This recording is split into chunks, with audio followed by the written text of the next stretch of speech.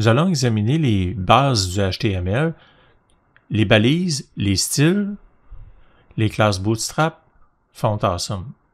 Alors, euh, les balises pour débuter sont euh, des, des indications de début et de fin, par exemple des titres, des paragraphes. Et nous allons examiner de quelle manière c'est codé, bien que nous n'ayons pas à le faire. Pourquoi? Parce que l'éditeur HTML va nous permettre, par les différents panneaux, d'appliquer des éléments donc qui contiennent des balises. Examinons dans un premier temps la balise H1, le titre de niveau 1. Donc, on voit ici la présence de six niveaux de titres hiérarchisés. Et c'est très important de comprendre ici que ce ne sont pas des considérations visuelles, mais plutôt des considérations de hiérarchie. Alors, il est très important, un peu comme euh, si vous faites par exemple un document Word, vous, évitez de, de, placer par exemple un paragraphe avec une taille de 24 points. Vous allez plutôt choisir un titre de niveau 1 afin que votre table des matières soit structurée. C'est la même chose pour le HTML. Un titre de niveau 2 doit être précédé dans sa hiérarchie d'un niveau 1, ainsi de suite. Dans Moodle, lorsqu'on crée des pages, Habituellement, le titre de l'activité étant de niveau H2, on débute le titre principal avec une balise de niveau H3. À noter, lorsqu'on tape ici, par exemple, le titre, euh, disons, titre 1, et qu'on teste, on remarque ici qu'à cette ligne, ici, là, on voit le rendu à l'écran qui est ici. Donc la balise, oui, elle a un effet visuel, mais elle a aussi surtout un effet sur la structure. Examinons un deuxième exemple le paragraphe. On voit ici trois paragraphes qui sont placés. Toujours la même chose. Ici, si je place ici texte et que je ici que je déplace la balise P avec sa fermeture toujours, mais je constate ici là, que chaque ligne de code HTML et placé à l'écran selon l'endroit où les balises sont situées. Advenant le cas ici que j'enlève une balise d'ouverture et de fermeture, quand même je ferai un retour à la ligne, ici. L'ouverture et la fermeture, ça donne ceci. On comprend l'importance des balises par rapport à la mise en page. Les images. Les images ont une particularité. Elles n'ont pas de balise de fermeture donc, la balise IMG n'est pas fermée. On voit ici qu'à l'intérieur, on retrouve l'URL de l'image. Et contrairement à la balise H2, ici, la fermeture, tout est inclus dans la balise IMG. À noter, on voit aussi des propriétés. Par exemple, si on applique ici la valeur de 800, puis qu'on teste, on voit soudainement l'image se déformer puisque la proportion hauteur-largeur s'en trouve à être altérée. Donc, si ici j'enlève le paramètre de hauteur et que j'applique à nouveau le changement, on voit ici que naturellement la proportion s'applique. Si je plaçais ici 100%, je constaterai que si je modifie la largeur, ici on voit que l'image euh, se dimensionne automatiquement selon la taille de l'écran. Si je n'applique aucune valeur, par exemple, ici. C'est la taille originale de l'image qui s'applique. Donc, on voit l'importance à travers le code de l'effet que ça a sur euh, les propriétés à l'écran. Donc, euh, en résumé, les balises H1 à H6, c'est la structure du document. On peut euh, affecter, on verra plus tard, des classes. Par exemple, à un titre H3, on pourrait lui donner une emphase et n'affecter que son visuel, de la même manière qu'un logiciel de traitement de texte. Et puis si vous modifiez une balise, euh, c'est important si vous décidez de vous lancer dans le code, de ne pas faire d'erreur. Par exemple, si j'enlève la balise P ici, puis que je tente mon code, là, ici j'en ai pas d'effet, mais on a vu tout à l'heure, si on enlève des balises, ou si elles sont partiellement euh, construites, on, aura ici des, problèmes là, euh, lors de l'affichage. Donc euh, ici, malheureusement, là, ça ne se produit pas. Il faudrait que je fasse un amalgame ici de H1. Probablement, ici, j'enverrai les effets là, selon le cas de figure H1. On voit ici le paragraphe. Si je retire la fin de la balise H1, là, c'est tout toute la suite qui s'en trouve affectée. Alors, quand vous faites des modifications à votre code source, soyez prudent. Les styles maintenant. Les styles, c'est différent.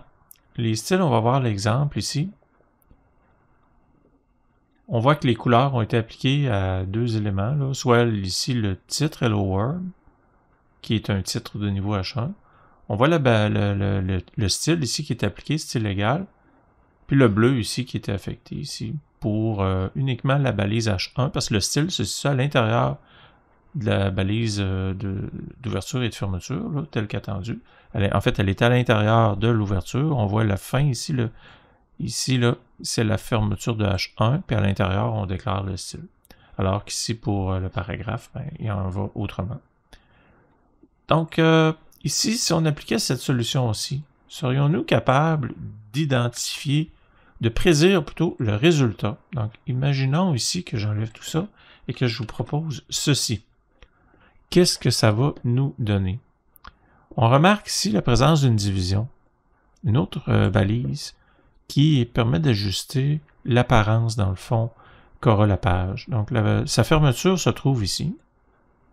Elle se trouve donc à inclure tout ce qui est à l'intérieur. On comprendra ici que euh, background color, on s'attend à ce que ça soit bleu pour tout le monde. Et que le rouge euh, tomate ne sera appliqué qu'à la P. Allons voir qu'est-ce que ça donne. Et oui. Donc, ça donne ce qu'on avait prévu. Et Ici, contrairement à tout à l'heure, j'ai mis color, j'ai pas mis background color. Donc, ça signifie que ce sont les, c'est la couleur du texte qui se trouve être euh, tomate. Donc, on voit que les balises sont parfois imbriquées. La div contient la H1 ainsi que la P. Alors, les styles, c'est différent des balises. Ça donne une apparence visuelle aux éléments.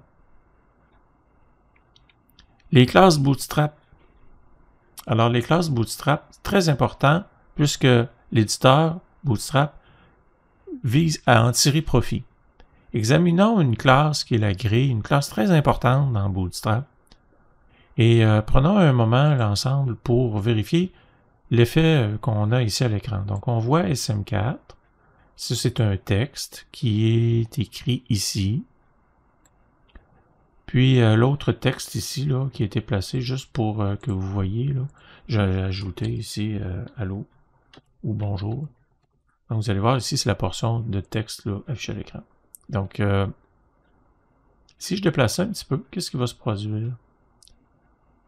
Soudainement, les deux lignes côte à côte deviennent superposées. Alors, ce qu'il faut savoir ici, ça, c'est très, très puissant, le, framework euh, Bootstrap.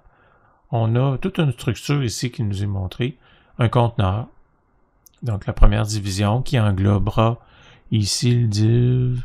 Celle-ci se trouve à avoir comme fermeture ici. Donc, ce qui commence ici se termine là. Donc, ça englobe tout. À l'intérieur du conteneur, on retrouve le titre ici, qu'on voit H1 le paragraphe qui est en dessous, le second paragraphe. Donc, et tout ça. Donc, mon, ici, mon intérêt porte sur la row. La row qui est une rangée, donc c'est l'ensemble de tout ça ici à droite, qui contient deux colonnes. Moi, je suis en mesure de les reconnaître, les classes, là, je les connais bien. Col pour colonne. 4, c'est la proportion. Il faut comprendre ici que la grille, c'est 12 espacements pour une ligne. Alors 4, c'est la proportion de 12. On voit là, ici, c'est différent. Donc si on plaçait ici une valeur différente, bien, on aurait une proportion différente. Par contre, si je plaçais, euh, disons, 5, 8 plus 5, ça fait 13, puis on ne pourrait pas avoir tout ça sur une même ligne. Donc on comprend ici à l'inverse, si je mets 3, j'aurais pas entièrement ma ligne complète. Là, on voit ici qu'il manque un espace pour que la ligne soit complétée. Donc, ma question, toujours mon petit défi, si j'applique cette recette-ci, sommes en mesure de prédire ce qui se passera? Donc, je le réessaie à nouveau devant vous.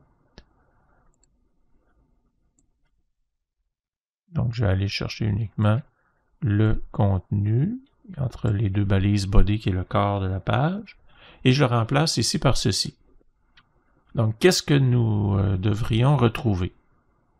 Un titre, H1, donc ici ça devrait être écrit test de la grille, suivi de questions, suivi d'un autre paragraphe qui dit comment la grille va-t-elle être rendue à l'écran, et comment sera la grille? Alors ici ça dit col MD6, donc une résolution médium, 6 de large, 6 de large. Je m'attends à ce qu'il y ait ici une séparation au centre. Quelles seront les couleurs? Ça, c'est nouveau. Donc, ce sont des classes, ce ne sont pas des styles. Donc, Bootstrap, ici, c'est bleu dans Bootstrap, la couleur primary. Puis, danger, c'est rouge. Donc, allons tester ça, voir ce que ça donne. Et euh, comme prévu, ici, les couleurs correspondent aux classes de Bootstrap. 6, 6. Ici, je rapetisse un petit peu. Plus rapidement, cette fois-ci, on les voit superposées. Donc, pourquoi elles se superposent rapidement? MD, ça représente un nombre de pixels. Lorsque je me déplace, là, on voit ici la dimension ici de la fenêtre. Puis à un certain nombre de pixels, ça bascule. Si j'avais placé LG, j'aurais eu un comportement différent. Donc ça se serait produit à un autre moment. Selon la taille de l'écran où on désire les choses voir se transformer, vous voyez ici. Donc ça se transforme à une largeur différente. Alors, c'est comme ça que ça fonctionne. Bootstrap, c'est très puissant. Ce ne sont que des classes, mais elles ont un, effet vraiment important. Finalement, les fantasmes, ce n'est pas lié euh, directement au HTML ni à Bootstrap. Les fantasmes, en fait, ce sont des icônes qu'on peut ajouter lorsque les fantasmes sont installés, ce qui est le cas dans le Moodle. Moodle possède la version 4.7 de Phantasm, donc allons voir qu'est-ce que ça dit. Phantasm, ce sont toutes ces icônes qui nous sont offertes. Donc, il y en a plusieurs. Et euh, il s'agit tout simplement d'intégrer la balise. Si on clique, par exemple, l'adresse, ici, on voit le code, la ligne de code qu'on peut ajouter. Donc, faisons l'exemple avec le simulateur de W3 School, puis examinons ce que ça donne ici. On a ici, si on prend uniquement la, la, première, ici la, voiture, car, en fait, ça génère la, forme. On voit les deux autres ici. Euh, l'auteur a placé ici des styles qui se trouvent à déterminer la hauteur. Mais euh, disons qu'habituellement, nous, on ne fait pas ça. On a plutôt euh, comme solution la possibilité d'écrire, par exemple, 2x pour la taille. Si je teste, vous allez voir, la voiture, elle va... pardon, FA2x. FA-2x, c'est écrit dans la documentation. 3, ça va jusqu'à 5. Donc 3, 4, 5. Puis on peut déterminer comme ça la taille de l'icône. Puis euh, pour ce qui est de sa couleur, on peut également appliquer des classes pour euh, les colorer à notre guise. Donc ce qui est à savoir ici, c'est euh, qu'est-ce qui va se produire. Donc si j'applique cette solution-ci, donc reprenons à nouveau ici le code de démonstration et tentons de prédire le comportement. Donc, nous avons une balise de titre H1 à l'intérieur de laquelle on retrouve à la fois l'icône et le titre. Donc, comment ça va sortir tout ça? On voit que le titre est en grand. La taille du titre et euh, la taille de l'icône se trouvent être associées. C'est la propriété de la balise H1. H1 qui engendre là, une taille plus importante. Donc, le fait que la, balise euh, de l'icône soit incluse à l'intérieur, mais elle hérite des propriétés. Toujours la relation parent-enfant de, son parent qui est le, titre principal. Donc, si on avait fait un titre euh, de couleur rouge, bien l'icône également s'en serait trouvé affecté. Alors, on a fait le tour euh, de la partie technique en ce qui a trait donc à tout ce qu'on voit dans le code source, à savoir les balises, Très important, on a dit, pour l'accessibilité, pour le respect de la hiérarchie du document. Les styles pour l'apparence. Pas trop de styles, on l'espère, parce que on ne veut pas créer d'éléments sur mesure, mais plutôt des, cours qui sont homogènes. On préférera utiliser les classes Bootstrap qui donneront toujours les mêmes couleurs, comme le rouge qu'on a vu là tout à l'heure. Ensuite, viennent les classes, les classes qui sont très nombreuses, très importantes, qui détermine euh, toute la structure de la page ainsi que toute l'apparence visuelle. Sachez que tout ça est bien documenté. Ici, j'ai passé outre là tout à l'heure, mais si vous cliquez sur Bootstrap 4.6, la version dans Moodle, vous allez trouver vraiment, vraiment tout ce que vous devez savoir par nom, par exemple, euh, les images, ben, vous saurez tout là, par rapport aux images, comment les classes sont nommées, qu'est-ce que ça donne. Donc, toutes ces classes, lorsqu'on les applique, là, donnent le rendu qu'on voit à l'écran. Alors, c'est c'est les, les, les, secrets de Bootstrap là, se trouvent ici. Alors voilà pour euh, les bases du HTML.